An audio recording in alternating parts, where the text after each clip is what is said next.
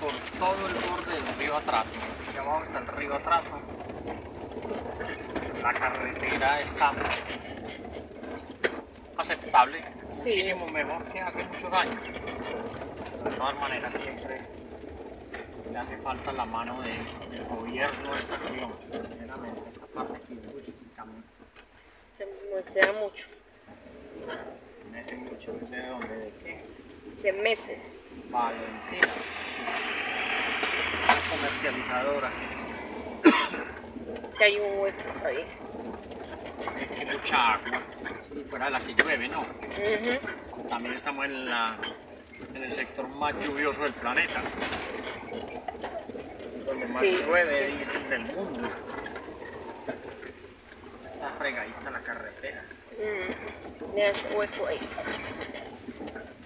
Ahí vamos. Esto entra donde sea. No, él no entra, yo no entro.